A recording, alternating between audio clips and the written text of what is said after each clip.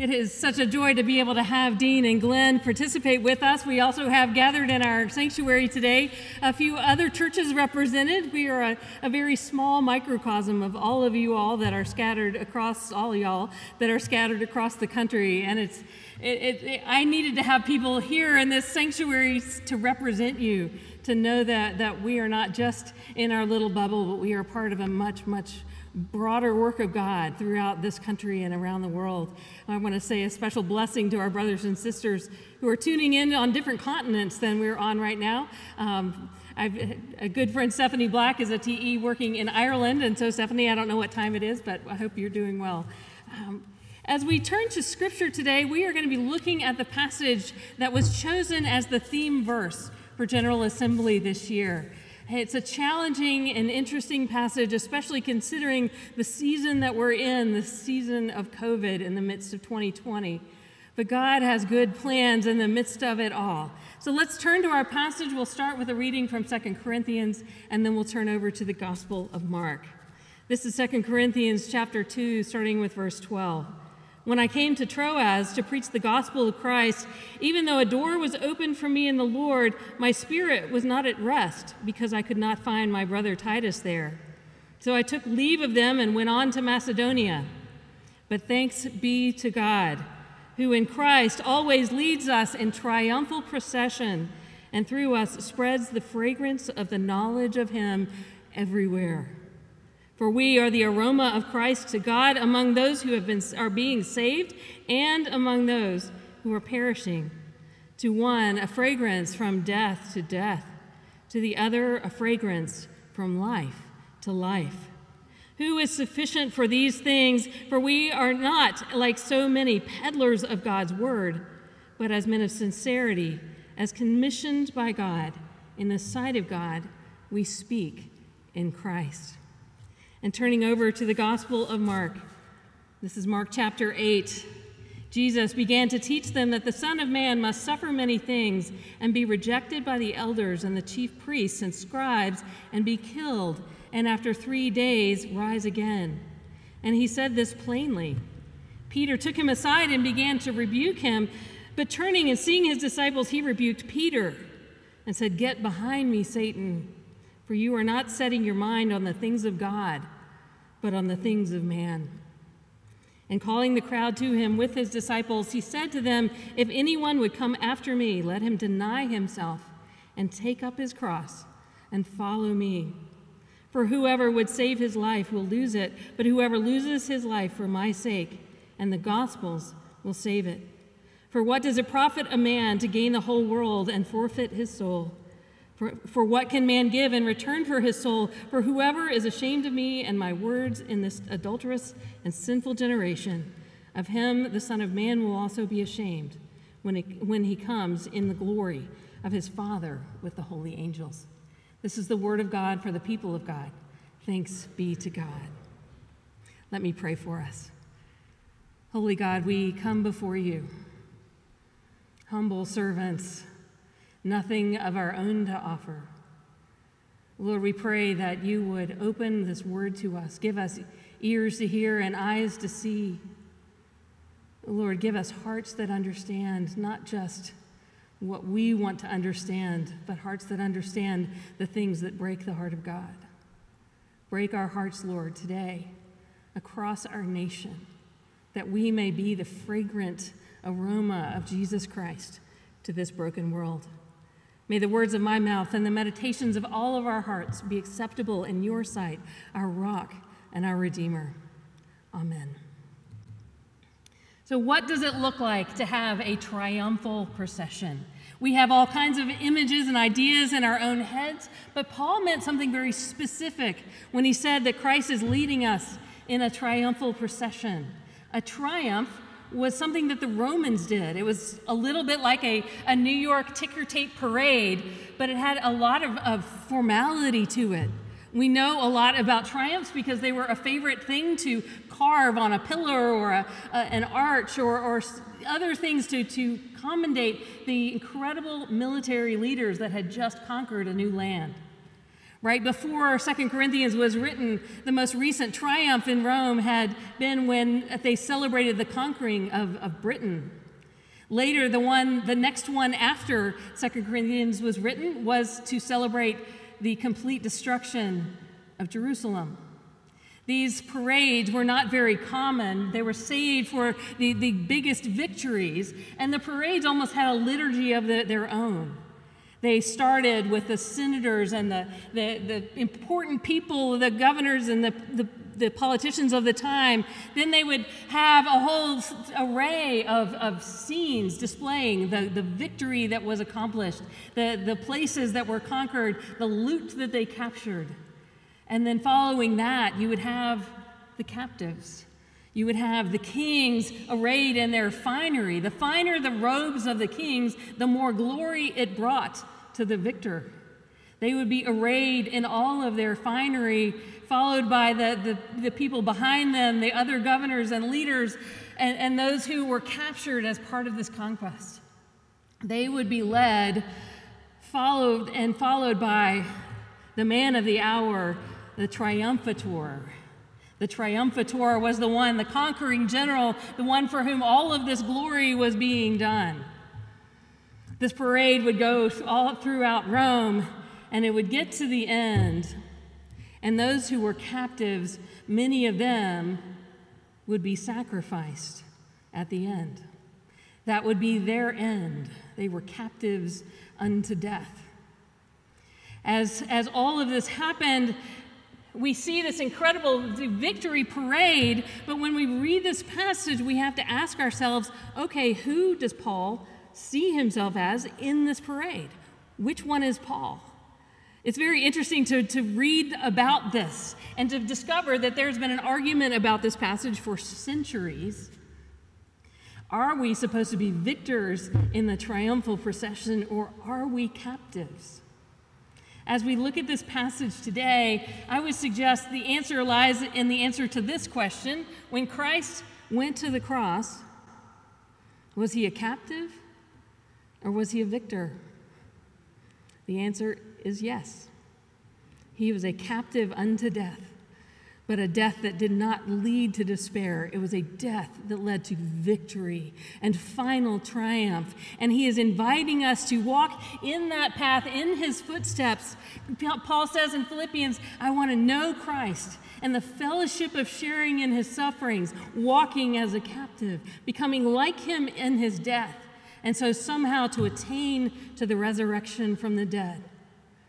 As God invites us into this triumphal procession, He invites us, come and die. And He invites us to join with Him in the final triumph when death and sin is conquered forever. Brothers and sisters, you and I are victorious captives, and God has good plans for us, even in the midst of our captivity. What year have we had in the recent memory that has been more of a captivity than 2020? It has been one thing after another after another. First, it was the lockdown as the virus began to spread, but it didn't stop there. It was the job losses, it was, it was the loss of hope. Did you know the, the suicide rate among teenagers is soaring right now? People have lost hope as they watch the rest of society crumble as the, as the divide between red states and blue states gets deeper, as violence breaks out in our cities. It feels like everything that we knew that was familiar in 2019 is, is all different in 2020. As we have been looking at all of this, as we've been trying to understand who we are in the midst of it, I strongly believe that this is a season of refining fire for the church. This is a season of wilderness. We are being led as captives. Christ is leading us, He is always leading us. But this is a time of unique captivity for us, a unique wilderness period. It is hard and it is frustrating. I know all of you pastors know what this feels like. The normal things that we do as church, we haven't been able to do. And it, we, we, we feel like we, we want to break out of the restraints, but we have to continually say, Lord, your will be done. We are captive to your will. Show us what that looks like. Show us how we can live like this. Show us what you want to do. As I have been thinking and praying about this, this image, this passage, I also think about Paul, Paul's commitment to surrender even unto death. He says in the same book in 2 Corinthians chapter 4, he says, For we who are alive are always being given over to death for Jesus' sake, so that his life may also be revealed in our mortal body. Paul is saying that we have to surrender we have to lay our lives down, and Christ will lift them back up if we trust in Him.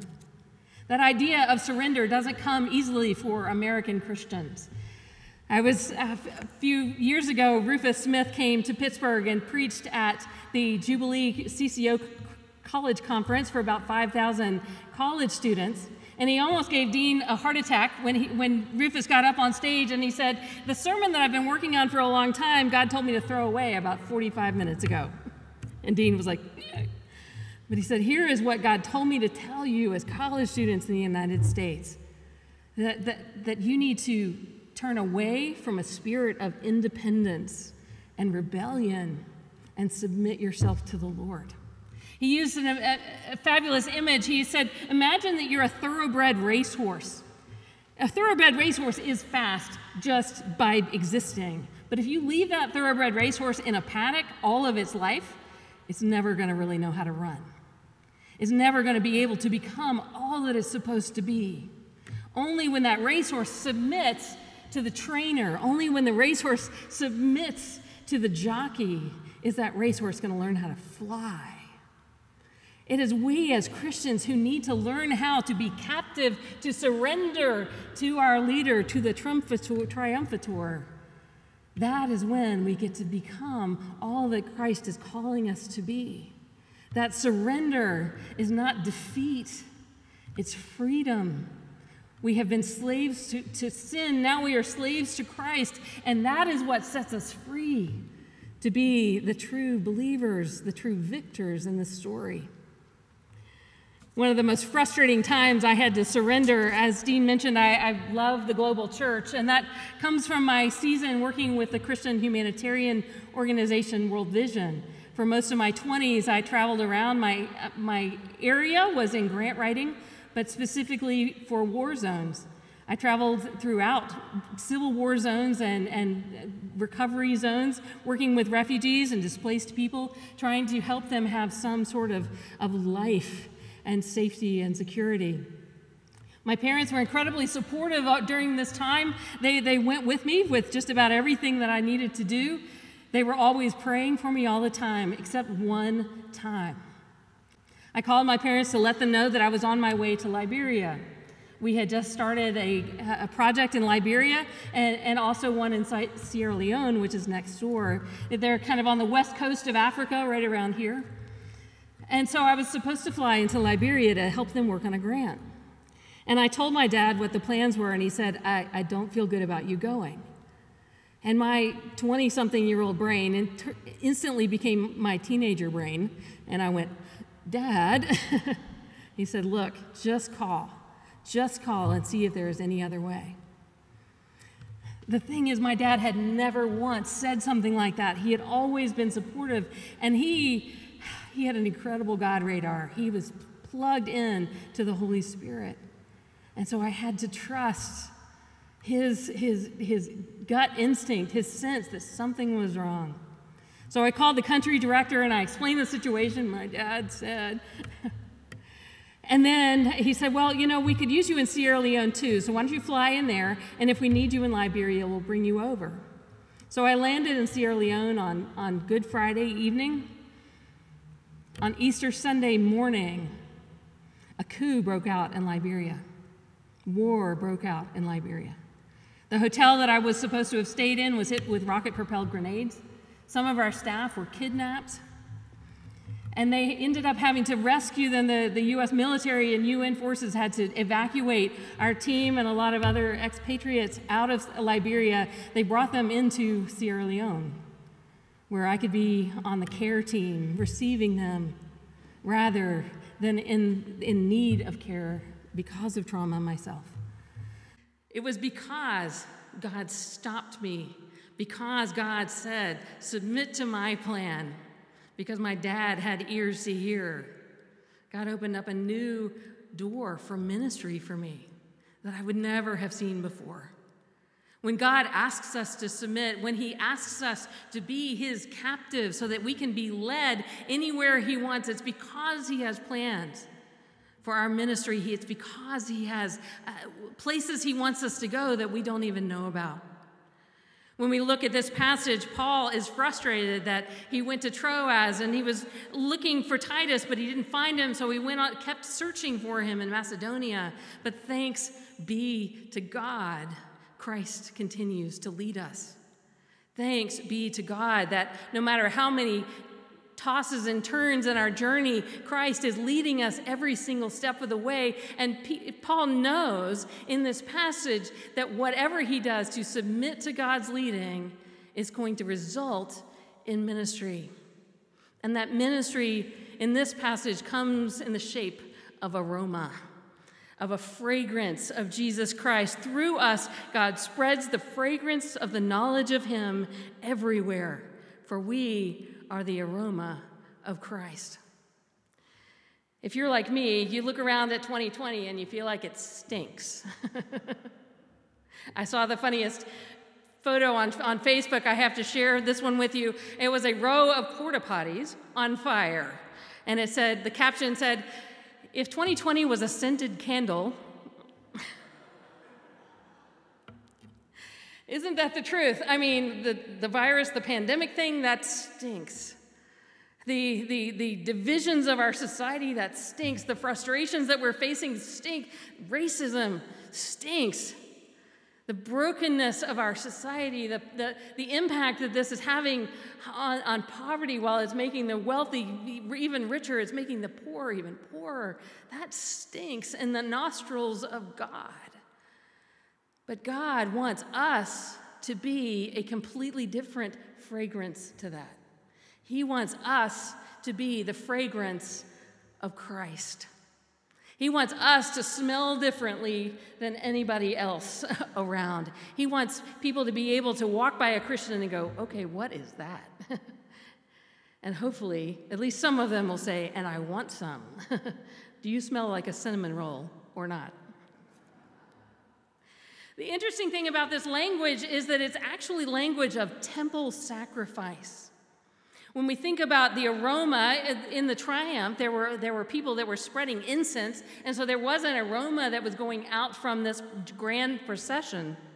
But when you look at the, in the Old Testament and search for the word aroma, aroma is almost always referring to the sacrifice, to the food offerings, to the grain offerings, to the bulls and rams and lambs that are sacrificed before the Lord. That is what becomes a pleasing aroma our sacrifice, our willingness to say, Lord, not my will, but yours be done, that submission to the Lord turns us into a fragrant aroma. As He has our whole heart, our whole will, we become an aroma that changes the world around us. When we think about, about all of this, it's hard for us to who want to be in control to read this thing that says, to one, a fragrance from death to death, and to others, a fragrance from life to life. We want to make, as soon as somebody smells a cinnamon roll, we want them to love that cinnamon roll. But God, we good Reformed Presbyterians, we believe that it is God who touches their hearts. We need to pray that God would give them ears to hear and eyes to see, a heart that understands, and a nose that can smell the pleasing aroma that is unto life. This reminds me of the, the scene in the last battle in C.S. Lewis's Narnia Chronicles as Lucy is it is, has just suddenly seen the barn disappear and turn into a field of wildflowers as, as Aslan brings them into the, the final kingdom. But so she gathers a, a, big bouquet of wildflowers and she sees a dwarf that had been sitting inside the barn with her. And she goes over to hand the, the flowers to him and says, Can't you smell these? And the dwarf says, Oh, get that straw away from me. So many in the world have hardened their hearts to God. We need to be praying and praying that God will turn that aroma, that He would open their eyes to see that it is not straw, but that it is an incredible bouquet of flowers. God is using us to spread that aroma, but what does it take for us Christians to be a different aroma than the world? What does it take in your community? What does your church need to look like to smell differently?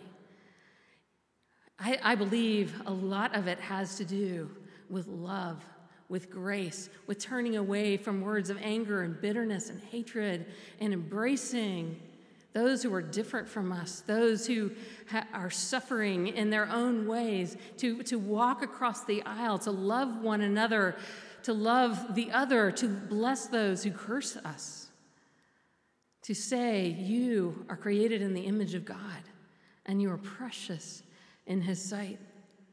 Wouldn't that smell differently than the world that is around us right now? That is the pleasing aroma. That is pleasing to God, and it is captivating to the world as they begin to smell something different than all the stink that the world has to offer. The incredible thing is about this procession, as God leads us as captives, as He transforms us into a glorious aroma for His sake. We think about the final victory, the final victory in, in the triumphal church triumphant in, in heaven as we get there. The thing is that this is not a military parade in heaven. This is not a triumphal procession, it's a wedding procession.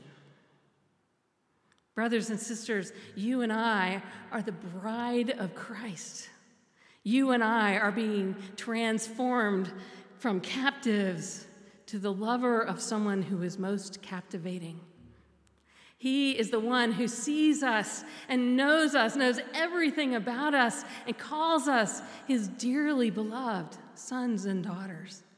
He is the one who looks out at us and is willing to lay his life down for us, that we may be transformed from rags into a pure and spotless bride. He is the one who I think of Esther and all of her beauty treatments, six months of, of being prepared. Imagine all the preparation God is doing right now on the church. All that He is doing to renew us and refresh us and restore us so that we might be ready. We think of the story of, of Gomer, Hosea's wife, who had, had been unfaithful to him and then God told Hosea to, to take her out into the wilderness, to strip away all the things that had been given to her and woo her back to himself. God is using this wilderness period to woo us back to himself so that we may be ready to be his pure and spotless bride. Brothers and sisters, we in the EPC sometimes can be like the church in Ephesus in Revelation 2. I know your deeds, your hard work, and your perseverance. I know that you cannot tolerate wicked people, that you have tested those who claim to be apostles and are not, and have found them false. You have persevered and have endured hardships for my name and not grown weary. Yet I hold this against you. You have forsaken your first love. Brothers and sisters, our love is standing, waiting for us longing to draw us in. He wants us to submit to Him, to surrender to Him, and to know that in that captivity is the most fulfilling love we can even ever imagine. We, as brothers and sisters in this denomination, are the precious bride of Christ. And we are the ones who invite the world to come to the banquet. This triumphal procession will end at the wedding feast of the Lamb. And that is where we will rejoice with the one who loves us. And that is what will transform us forever and ever. And it is the, the promise of that, the reality of that, that transforms us right now. We are not waiting to be the bride, we are the bride right now. As we think about what this, this country has been like in the last few months, many, many people have lost their lives, over 180,000. 6 million cases of COVID. There have been three in our denomination who were high up and very involved in the national leadership team. The Revelation 7 9 task force lost a dear brother, Tim Russell. from Second Presbyterian in Memphis. Dick Osterreicher and his wife Bobby both passed away. Dick had been um, a, the, the director of World Outreach for a long time. We know that these dear brothers and sisters are now seated at that wedding feast of the Lamb. They are in the church triumphant, and we can proclaim their praise, proclaim the praise with them, knowing that they are praising their dearly beloved bridegroom of Jesus Christ, they, the bride. This week, I, went back to the YouTube video of the, the choir from Second Presbyterian singing in front of Tim Russell's house to his wife, Kathy.